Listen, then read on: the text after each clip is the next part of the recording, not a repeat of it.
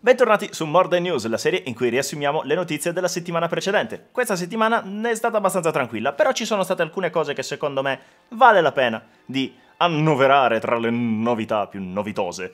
Vediamo subito con cosa iniziamo. La notizia forse più corposa che ho già commentato un pochettino nel video di venerdì è che finalmente abbiamo una prima immagine del PCB teorico delle 4090, un PCB che in realtà non si distacca più di tanto da quella dei predecessori ma ci dà giusto qualche informazione in più utile da sapere. Quello che state vedendo è il PCB teorico di AD102, ovvero le teoriche top di gamma della nuova generazione Ada Lovelace, da cui AD. Queste sostituiranno le GA102 che attualmente sono le eh, top di gamma gamma di Ampere, ovvero le RTX 3000. Come potete vedere da questo primo sguardo al PCB abbiamo ben 12 chip di memoria, molto probabilmente ancora utilizzeranno la GDDR6X, con una possibilità di installare 24 fasi di alimentazione, anche se c'è da dire che non sempre vengono utilizzati tutti gli slot disponibili. Per esempio la 3090 Ti, che dovrebbe avere più o meno delle caratteristiche simili alla 4090 per quanto riguarda questo aspetto, utilizza sol soltanto, soltanto tra molte virgolette perché non sono poche, 18 fasi di alimentazione. La parte di alimentazione rimane una TX 3.0 a 16 pin con possibilità di erogare fino a 600 watt di potenza. Ciò non vuol dire che avremo 600 watt di potenza, ma semplicemente che c'è la possibilità di arrivare fino a.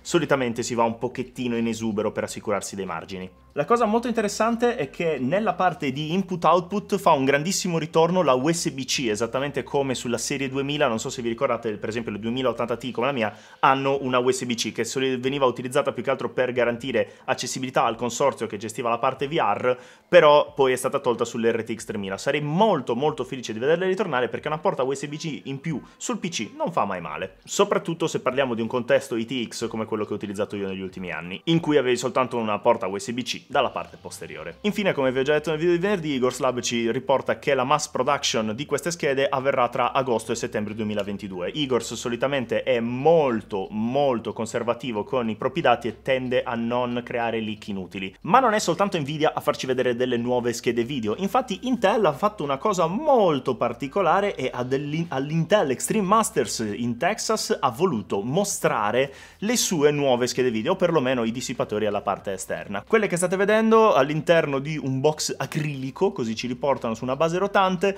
sono semplicemente due schede video, due dissipatori e non eh, abbiamo possibilità di identificarle. Però come potete vedere richiamano effettivamente quelle che erano stati fino ad oggi i leak su queste schede video e abbiamo anche la fatidica versione limited edition molto molto carina, cosa che fa pensare che faranno due dissipatori, magari uno da collezione e uno un pochettino più banale, un pochettino più economico magari per sostentare il mercato in quella fascia. Molto molto molto carina, devo dire, la versione limitata, mi piace molto il design, è elegante, tranquilla, pulita, ma soprattutto una cosa interessante è che utilizza una 8 pin più 6 pin, cosa che vuol dire che Intel non andrà a utilizzare gli standard che stanno venendo introdotti da Nvidia con le ultime schede, ovvero con la 12 pin, ma ancora sosterrà quelli vecchi. Non abbiamo ancora nessun dato per quanto riguarda il lancio ufficiale di queste schede, ma molto interessante da vedere. Sempre lato Intel abbiamo delle novità corpose anche per quanto riguarda la tredicesima generazione di processori Intel Core, ovvero Raptor Lake. Perché devono sempre suonare le campane mentre registro? Per, cioè, perché? Perché? Perché? Cioè, ma tipo un richiamo? Cosa? Cioè, che ora è, scusate? Ah.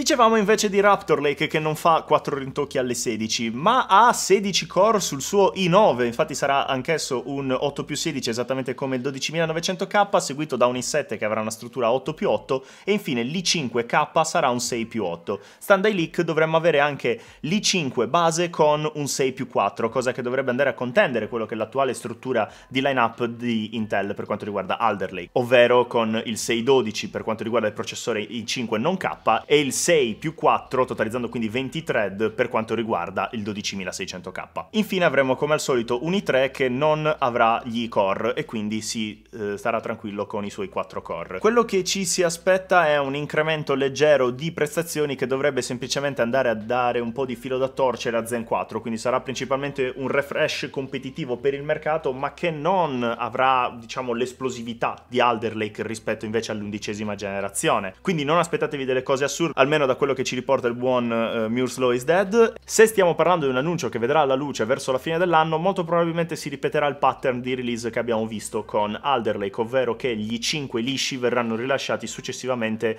uh, nei dintorni del CS 2023, assieme alle B760 e alle H770. Non so se avete visto le H670, io non ho la più pallida di come siano fatte perché non ho vista una, però comunque Oltre a questo, ciò è Raptor Lake, diciamo riassunto a grandi linee. Purtroppo le news più corpose lato hardware si fermano qui, però possiamo passare un pochettino agli spizzichi e bocconi, la parte in cui ci sono delle news che si spiegano da sole. Vediamo un pochettino che cosa ci ha offerto questa settimana. God of War su Steam è ufficialmente il terzo titolo ad avere implementato l'FSR 2.0 e tutti i suoi benefici come gioco. Infatti è da subito disponibile questa tecnologia anche sul titolo di casa Sony. E devo dire che mi piace la line-up di giochi che stanno scegliendo, cioè siamo partiti con Deathloop, che comunque è un gioco che un po' piace, un po' no, poi Farming Simulator 2022, che non ho capito perché, e adesso God of War, che onestamente ha senso. Però Farming Simulator 2022 come cavia da laboratorio mi è piaciuta tantissimo. Bravi, le, le mie mucche in HD sono molto più belle. NZXT ha annunciato le sue Z690, infatti abbiamo i nuovi modelli N7 e N5. Le schede madri si vanno a integrare con i più recenti annunci degli H7, ov ovviamente potete notare che i nomi riprendono H7, N7, insomma,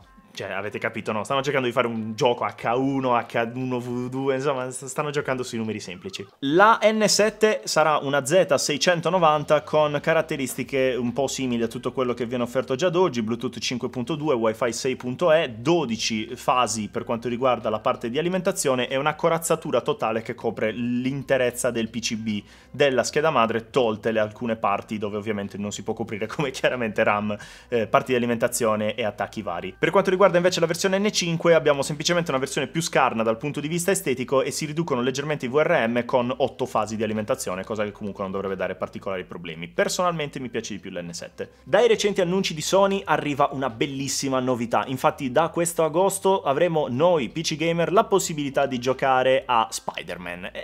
bello, bello, bellissimo, oltretutto non solo a Spider-Man il primo ma anche a Spider-Man Miles Morales, cosa onestamente molto bella perché sono due titoli veramente molto significativi significativi ed è un piacere poterci giocare anche su PC. Sto sperando che il porting venga fatto bene perché Sony non è proprio bravissima nel fare i porting delle cose, ma God of War mi dà buone speranze. Oltre a questo dovremmo avere anche l'annuncio ufficiale del PlayStation VR 2 con l'integrazione di alcuni titoli più recenti come per esempio Resident Evil 8 Village, insomma che verrà eh, messo anche su in VR. Io onestamente di combattere la Dumitrescu in VR non ho la minima idea perché eh, ci tengo alla mia salute mentale, però per il resto questo sembra veramente molto interessante, stiamo a vedere quando uscirà. La quattordicesima generazione di Intel avrà un nuovo socket di dimensioni titaniche, a quanto pare, perché sarà un LGA 2551, ovvero 2551 pin. Onestamente, ok che non li usate tutti, però sono so tanti cioè tipo il 50% in più rispetto all'LGA 1700, il che è, è, tanto, è veramente tanto.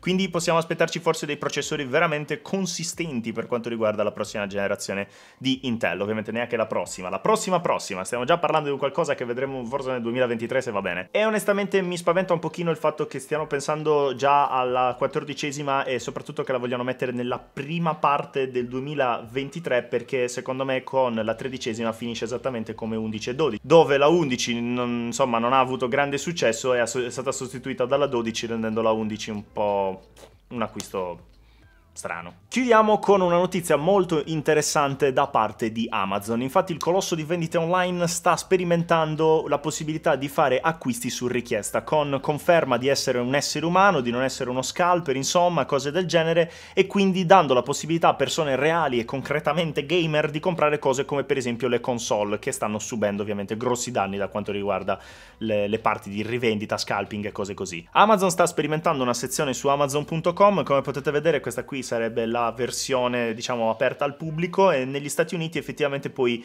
richiedere l'invito a comprare il prodotto se questo qui è un high demand item, ovvero un oggetto con un'altissima richiesta. Onestamente qualcosa di molto interessante almeno per creare un minimo di disagio a queste persone che possono comprare con le stesse modalità delle persone normali e personalmente insomma non è proprio granché quando hai un oggetto che non è molto disponibile per via della crisi dei chip poi arrivi lì e devi lottare con 290 97 che semplicemente poi lo comprano e lo mettono su eBay 8 secondi dopo.